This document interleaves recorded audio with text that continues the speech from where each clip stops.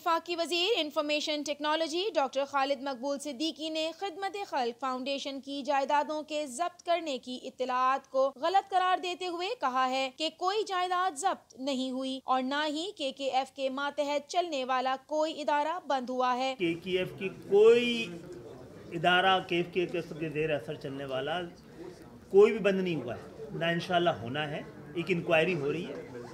और उस इंक्वायरी के नतीजे पे ये होता है कि स्टेटस को होता है। आप इसको ख़रीद फरोख्त नहीं कर सकते उसकी। आ, हम भी बहादराबाद में बैठे हुए बैठे रहेंगे। शहर में जारी तजावजात के खात्मे की ज़िम्मेदारी मेयर कराची पर आयद नहीं की जा सकती क्योंकि वो सुप्रीम कोर्ट के अहकाम पर अमल कर रहे हैं। देखिए पहली बात तो ये है कि सुप्रीम कोर्ट ने हुक्म दिया था सिंध गवर्नमेंट को कि इस हवाले से फौरी तौर पर वसाइल फराम किए जाएँ। वो नहीं कि वो तो कराची के वसाइल पे पल रही है। पचानवे फ़ीसद सिंध के रेवेन्यू का कराची देती है। और वो उस पर लड़काना भी बन जाता तो हमारे दिल को तसल्ली होती। उससे तो सिर्फ़ कहीं और की रियल इस्टेट ऊपर जा रही है। हाँ ये जो सुप्रीम कोर्ट के हुक्म पर तजावज़ात के ख़ात्मे की बात है, उसमें एक्सेस हो गया है। और ये जो बहुत सारी जगहों पे घर गिरे हैं और दुकान गिराई है, वो के ने नहीं गिराई है। मेयर साहब बता चुके हैं। ये दूसरी आपको पता है कि के डी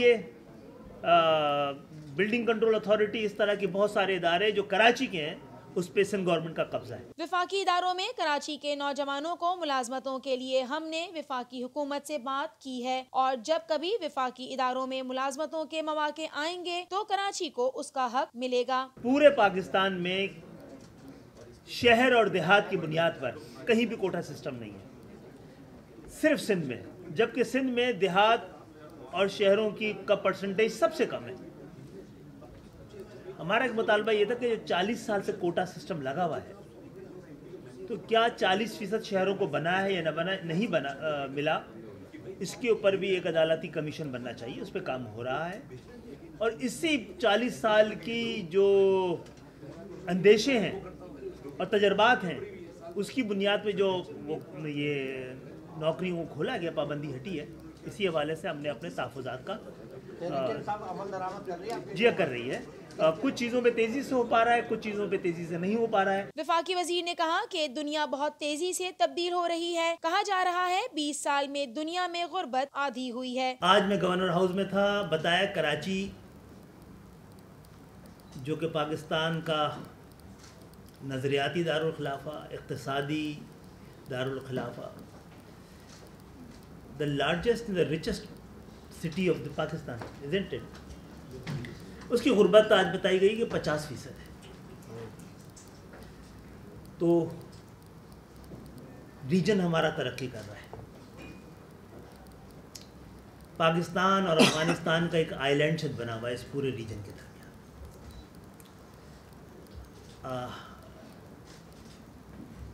जो स्टेटस को है, इसके ख़िलाफ़ मैं इतने लंबे अरसे रहा हूँ कि कभी कभी बात करता हूँ लोगों को लगता है कि हुकूमत के ख़िलाफ़ बात कर रहे हैं। और मैं इस वक्त हुकूमत में हूँ, लोग कहते हैं, ये दोनों मज़े लेते हैं, हुकूमत में बैठ के भी अपोजिशन की ज़बान में बात करते हैं। हम चाह रहे हैं पाकिस्तान में ई गवर्नेंस के लिए। और पेपरलेस इकोनॉमी हो गई पेपर पेपरलेस गवर्नमेंट हो गई तो ई गवर्नेंस हो गई तो करप्शन भी मिनिमाइज हो जाएगी। और ये कर गए तो आना, आने वाली हुकूमत के लिए पहला उसका एजेंडा जो है वो करप्शन के ख़िलाफ़ नहीं होगा जहालत और गुर्बत के ख़िलाफ़ होगा। अगर आने वाले चार पाँच साल में हमने ख़ुद को तब्दील नहीं किया तो फिर हम हर मुकाबले से बाहर हो जाएँगे। और आईटी ही वो सेक्टर है जो तब्दील कर सकता है। कराची के लिए आईटीसी का मंसूबा बनाने जा रहे हैं और एक हफ़्ते में ज़मीन से मुतालिक हतमी फैसला कर लिया जाएगा। साल 2019 का आगाज़ पाकिस्तान में आईटी इनकलाब का साल होगा। इस वक्त खुद पाकिस्तानी डायस्पोरा जो बाहर बैठा है, पाकिस्तान के नौजवान जो बैठे हुए जो बड़े बड़े बिजनेसमैन बैठे हैं आई आई टी से ताल्लुक़ रखने वाले, वो सब पाकिस्तान की आगे खदमत करना चाहते हैं। जब आएँगे, ये काम शुरू होगा। मेरा ख्याल है 2019 आगाज़ है पाकिस्तान की आईटी रेवोल्यूशन का। और हम बहुत अरसे इन ताला कम से कम अपने ख़त्े में पीछे नहीं रह जाएँगे।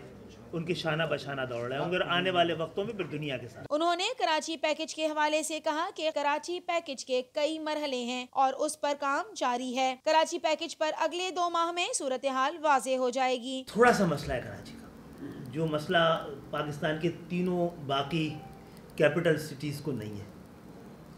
वहाँ पर जो प्रोविंशियल गवर्नमेंट है, वो अपने कैपिटल को ओन करती हैं। वहाँ पे काम करना आसान है। फेडरल गवर्नमेंट के लिए बड़ा मसला हो रहा है कराची के अंदर काम करना।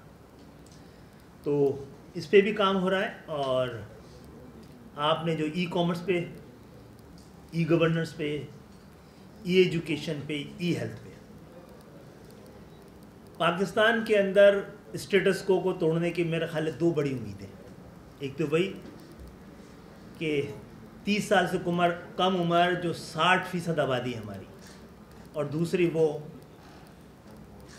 पाकिस्तानी, ओवरसीज़ पाकिस्तानी, जो अपने हालात से ऊपर उभर के वहाँ गए हैं और जिन्होंने जदीद दुनिया देख ली है, महजब दुनिया देख ली है जनवन जमहूरियतें देख ली हैं और आज़ाद माशरे देख लिए हैं। ये दो मिल के काम करेंगे तो इन आने वाले वक्तों में पाकिस्तान को। इन तब्दील कर पाएँगे। पॉलिसी पहले भी बनती रही है। आज फिर एक नए और जदीद अहद और तकाज़ों के मुताबिक 2019 की पॉलिसी ऐसी बनाएँगे कि 2020 तक हम अपने टारगेट्स को अचीव कर सकें।